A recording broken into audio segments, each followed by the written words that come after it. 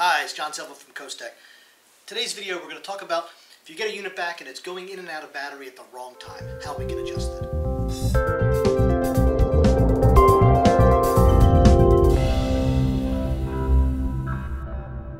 Yeah.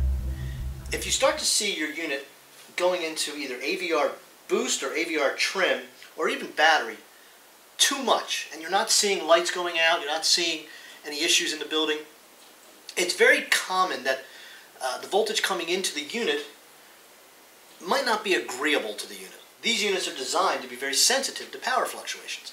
That's what they do. They want to react to a power fluctuation before you, the equipment that's hooked into it can.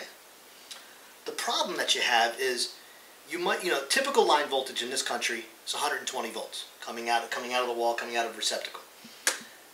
The, the utility company is designed and regulates that voltage coming out of the wall only to about 20%. It's saying that a 20% reduction in your, in your voltage is considered acceptable. While it might be acceptable to the lighting in your house and your dishwasher or at the office, your copier or whatever, it's not acceptable to computers and to sensitive switch equipment. That's why these units exist. But if you take a 20% reduction and your line voltage is 120, you're going to be down to about 108 volts. Normal 108. This unit is designed to go into battery or to react to a trim or a boost at 103 volts on the low side. So if you're at 108 normal, you could very easily go in and out of that 103 volt range and, and cause this unit to go in and out of battery, which is going to decay your, your battery life.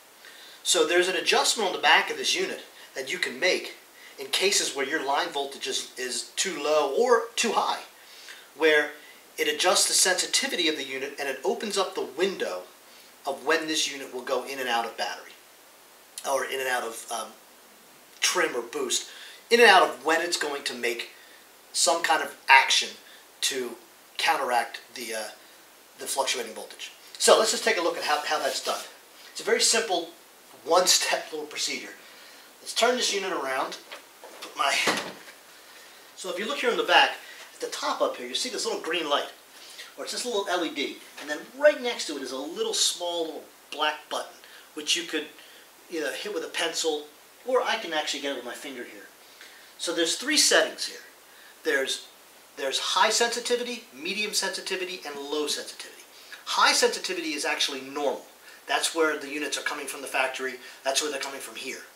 If you're having issues, Let's first start by moving it down to medium sensitivity. So it opens up that window just a little bit. Very simple to do. You'll see the green light is bright right now.